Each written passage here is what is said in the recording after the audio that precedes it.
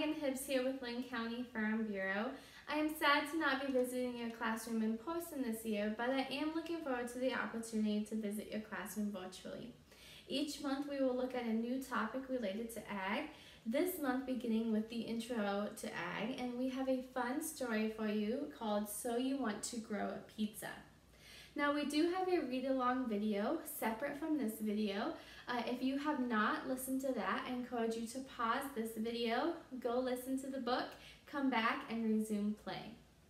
Let's review. So you want to grow a pizza. How many of you like pizza?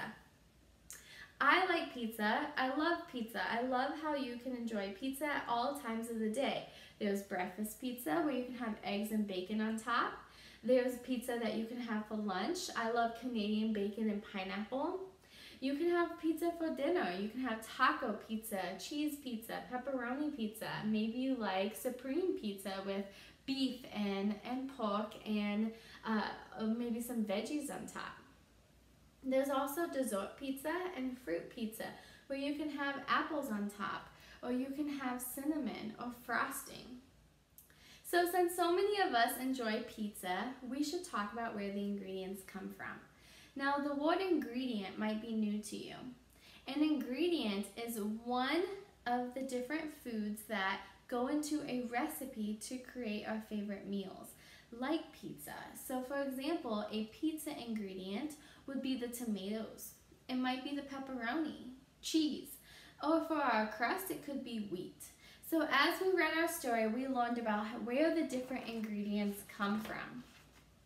Now you can't grow a whole pizza by yourself, but it goes through and it talks about how the different ingredients come from a farm. So if we go to the beginning, one of the first ingredients it talks about is wheat. That comes from a wheat field or a wheat farm, which is a plant. Next we look at cheese.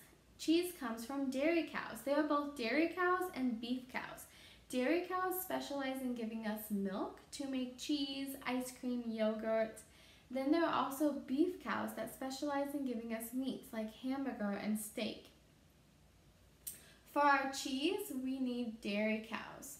That is an animal. Next, we look at pork or pepperoni, and that comes from pigs. Uh-oh, unless you live on a farm, you might be running out of space. So then in our story, we learned that we were going to build or grow the sauce. The sauce has different ingredients in it, including tomatoes, garlic, which helps to add a spice to our pizza, and oregano. Can you say oregano? Oregano is a plant that adds flavor to our pizza sauce. Pretty soon we have all of the ingredients to make our pizza sauce. So then, once you've read the story and you've listened to this video, you can go ahead and download the activities from our websites, the different worksheets and crafts, or if you have a kit, then you can uh, go ahead and get started on the craft uh, and all of the worksheets.